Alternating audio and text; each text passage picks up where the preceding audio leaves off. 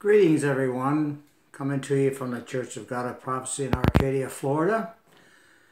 This Bible study that we'll be starting will be a series. If I was doing a Sunday morning Bible study or a Wednesday evening Bible study, these would probably take several months, just these first few verses in the book of Second Timothy, third chapter. so any time that we do kind of a synopsis, that's not the full meaning behind everything. We give you as we have time. So the message will be titled The Last Days, and it's going to be a series. Let's bow our heads and pray and invite the Lord, the Holy Ghost, the Father, into the, our gathering today. Dear Heavenly Father, we come before you today giving you the praise, the honor, and the glory in all things through and by your Son, Jesus Christ. By the power of the Holy Ghost, asking that you anoint my mouth, my lips, my heart to bring forth that that you would have me to speak. Ask that the hearts of the people be receptive, God, to your word, to what we're teaching. And may they forever use their Bibles as a reference and also pray to you, the Godhead, for clarification if there's uh, any thoughts differently. Let's go to Romans chapter 8 and verse 7. And uh, while we're going there, I just want to say that up till this point, Paul has been teaching, exhorting Timothy about being a pastor. He's uh, talked to Timothy about how he, how he was raised in a house with his grandmother and his mother to understand and to love the Lord. And Paul, as he does in many cases, uh, once he reaches a, his point, I think, I can't speak for him, but I think when he reaches his point, that he will change the subject and go on to other things. He doesn't seem to dwell a whole lot uh, on things over and over and over again, although he may, by the Holy Ghost, repeat them in different uh, books. So, Romans chapter 8, verse 7. Let's read that. Okay. Because the carnal mind is enmity against God. For it is not subject to the law of God, neither indeed can be. What does that mean, the carnal mind?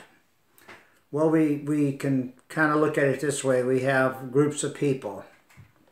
We have Christians, we have sinners, and we have those that claim to have a relationship with Jesus Christ, but they don't have a relationship with him. They know him in name only. So they think their relationship is cemented, which means that their mind thinks that they can do things of the world and then go to church and God is okay with it. Well, we can't live in the world and in the Spirit of the Lord at the same time. So there's a gap in there to where all of us, if we've sinned and come short of the glory of God, we can repent and, and straighten our lives out. So the carnal mind, he's not subject to God or God's ordinances or God's commandments or the Word of God. He just simply says, I do what I want to do, and I'm sure that, that it's okay with God.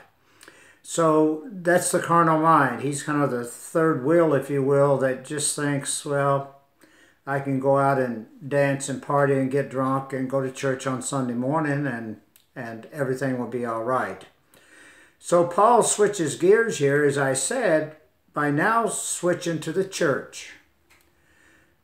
And let's read uh, 2 Timothy chapter 3 and let's read a few verses.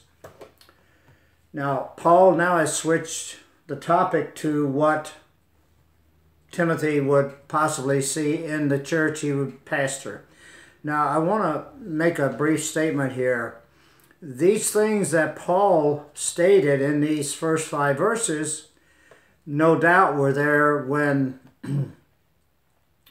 before the flood of Noah. They were there before Sodom and Gomorrah.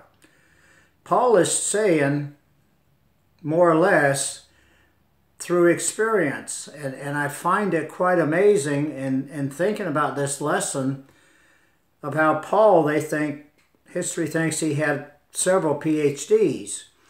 Well, in order to be able to bring these verses out to Timothy, I want to think that Paul had seen these individuals, these people, and knew what what uh, what part they played in the in the Christian life in the church. So let's read a few verses in Timothy chapter 3, starting with this. Know this also, that in the last days perilous times shall come. For men, of course, that would include women, we want to include uh, everyone that's come to the age of accountability, shall be lovers of their own selves, covetous, boasters, proud, blasphemers, disobedient to parents, unthankful, unholy. Verse 3 Without natural affection, truce breakers, false accusers, incontinent, fierce, despisers those who are good, traitors, heady, high minded, lovers of pleasures more than lovers of God. Having a form of godliness, which is a pretty powerful statement here, verse 5 is, is really powerful among the others as well. Having a form of godliness, but denying the power thereof, from such turn away. Now he's talking about the church here. So when Paul is speaking of the last days, he is talking about before the rapture. He did not know the time of the rapture, so I'm sure he phrased it in a way from the Holy Ghost that in the last days before Jesus comes back, that perilous times shall come. The expression the last days refers usually to the period of time of this present age before the rapture. So the last days. Uh, my father passed away, was a pastor in 1981, so that's uh, this September will be about 41 years he's been gone, and he's waiting for that to take place. His soul and spirit are in heaven. So let's continue on this session. I've put a, a session out there on the rapture. Now, the, the current church as a whole is in a state of apostasy. Apostasy, a lot of individuals, preachers, teachers, also equate that to the Laodicean church. We're in a state of apostasy. Now, this message may seem to be very negative, and the ones coming up will probably seem to be very negative. But if we know God's word and understand God's word, we have to we have to teach and preach as the Holy Ghost puts it on my heart. Now, even though the church is in apostasy, after we finish this series, we're going to go ahead and get into how the church can come out of the apostasy. Continuing on, he gives examples to Timothy of what will happen with the church. Now, when we see the perilous times and the blasphemers, disobedient to parents, unfaithful, unholy, we think about the world. I've heard people say, and I've said it as well, boy, the world is getting worse and worse and worse. Well, let's look at our lives as Christians, things that's coming into the churches.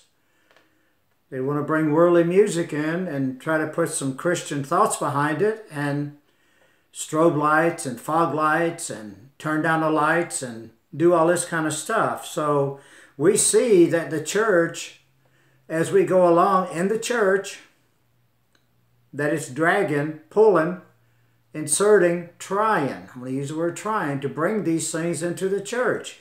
In some cases, it's actually happening. He gives examples to Timothy of what would happen with the church. He's not talking about the world, he's talking about the church here.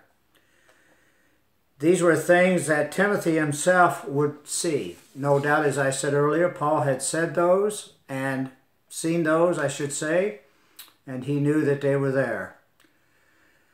Okay, sins of various degrees of gravity are brought together more or less indiscriminately. Paul said they would creep in. One, one writer said they would creep in catch women unaware, men unaware as well, with the idea of possibly pointing out that in God's sight all sins are equally grave, whether they are sins of the flesh, or of the Spirit? Let's stop right there for a moment. Sins of the flesh or sins of the Spirit? Wow. Okay. Sins of the flesh is when we are married and we cheat on our husband or wife. That's a sin of the flesh. When we get drunk, blind drunk, and say we're Christians, knowing that the, the temple that I live, the body here, the Holy Ghost lives in that temple. And sins of the Spirit or the Spirit. What does that mean? That means that if the Holy Ghost is pulling me back to Jesus Christ with things in my life, if I continue to do those, we have to give it a word. And that word would be sin against God because the Holy Ghost will never pull us back to Christ in error. He will always let us know that what we're doing, getting more caught up in boating, golfing, those things are permissible. But if it becomes so to the point we don't read our Bibles, study our Bibles, go to church, whether committed against our God or our fellow man. Don't be angry with our neighbors. Forgive. Love one another. We can sin against our fellow man as well. These sins, common in the first century, are flourishing also in alarming measure today. Okay, I'll let you sort it out and then see how that it's common that people go behind other people's backs. That's the flesh trying to encourage the spirit to agree with them. God's not going to agree with anything that's contrary to his word.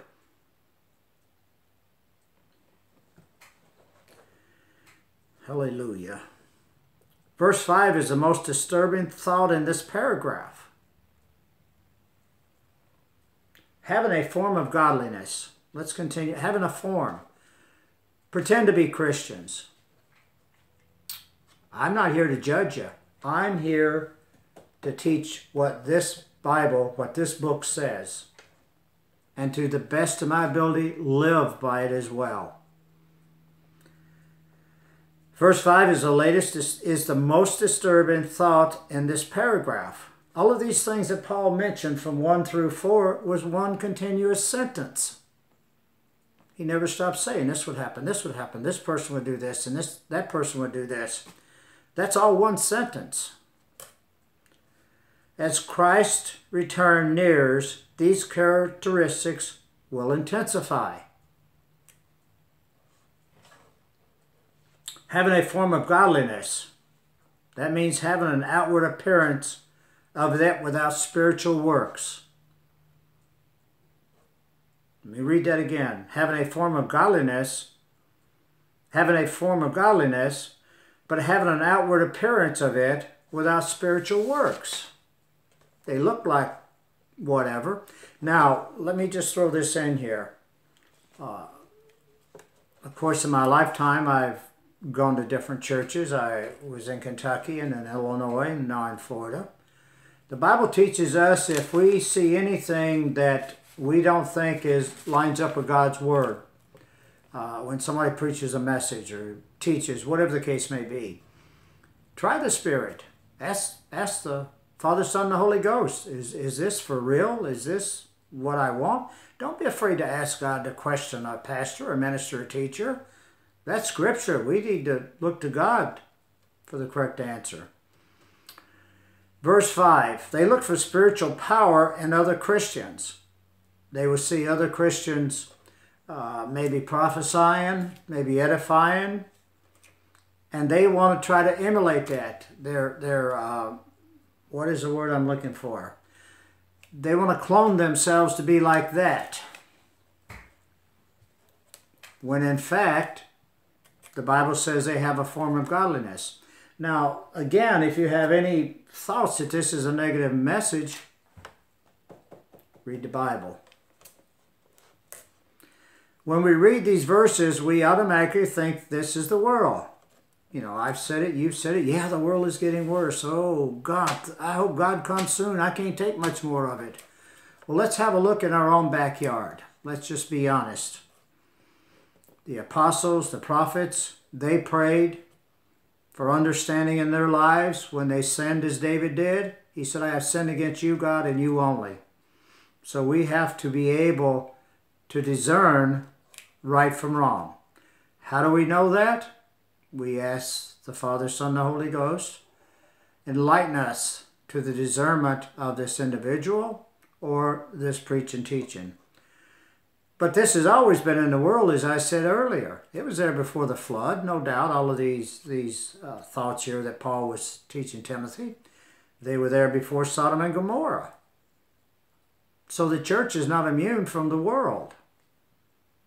What do I mean by that? I can't tell someone. I've I've talked to different individuals, and and I leave it in the hands of God. Well, uh, a casual drink is okay. It's all right with me I'm talking about things that I don't want to do. Uh, play the lottery. Well, if I win the lottery, what I'm going to do is I'm going to give a big chunk of that to the church. God owns a cattle on a thousand hills. The streets are gold.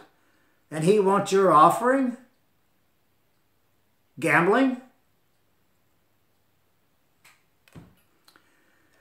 Paul is teaching Timothy then as well as now these are the verses that has crept into the church. I want to repeat this. Paul is teaching Timothy then as well as now, these are the verses that has crept into the church in some cases. Not the whole church, I said in some cases. In this study, we will see how Christians can overcome. That'll be later on. Next week, I will give you a little heads up. I want to break down those words perilous times, lovers of their own flesh, covetous, boasters, proud, blasphemers, disobedient to parents, unthankful, unholy, without natural affection, truce breakers, false accusers, incontinent, fierce, despisers of those who are good, traitors, heady, high-minded, lovers of pleasures more than lovers of God. I want to break those down and see if those are any that you recognize uh, from individuals in your life, be it Christian or sinners. Okay, I trust you got something out of this. I pray that uh, I didn't come across as being too direct, but I don't think this Bible cannot be direct. We can't go around it to get what we want. Here's, here's the real problem. Ask ourselves. I ask myself, say this quite often to myself. I want to go to heaven. I want to go there. Why? Well, of course, to see the Father, Son, the Holy Ghost. Some say we may see the Holy Ghost, we may not. I don't care. I just want to go to heaven. Yes, I have a wife there. I have a son there. I want to go to heaven. But let me tell you, the alternative, according to this book, this Bible, it's not pleasant. Wailing and gnashing of teeth for eternity. So, uh, in the studies coming up, we're going to break down these words here and then we're going to go ahead and show how the church can come out of the apostasy. Have a great day.